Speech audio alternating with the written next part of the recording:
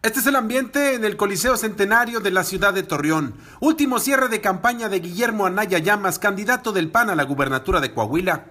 Con la presencia de quienes lo acompañaron en el transcurso de su campaña electoral, figuras del panismo nacional como su líder nacional Ricardo Anaya, Margarita Zavala, los gobernadores de Durango y Tamaulipas y su familia, el abanderado de Acción Nacional agradeció a los aproximadamente 15 mil personas que llenaron el Coliseo Centenario de esta ciudad esta gran campaña fueron ustedes, los ciudadanos de cada una de las regiones de Coahuila, de aquí, de la laguna, de mi casa, de Torreón. Muchas gracias por este ánimo de esta gran campaña triunfadora y esperanzadora.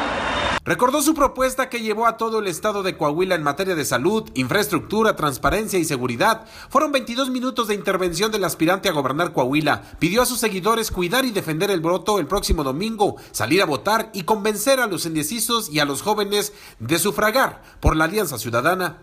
Y este fue el último mensaje de Guillermo Anaya Llamas en su figura de candidato. Candidato a gobernador en mi casa, en Torreón, el día de me voy a encontrar aquí con ustedes como gobernador de Coahuila, porque ustedes nos apoyaron y gracias a ustedes se hizo el cambio posible este próximo domingo.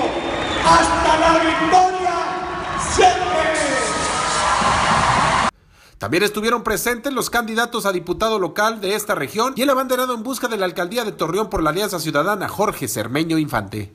Con la imagen de Miguel Cerda para RCG informó Enrique Hurtado.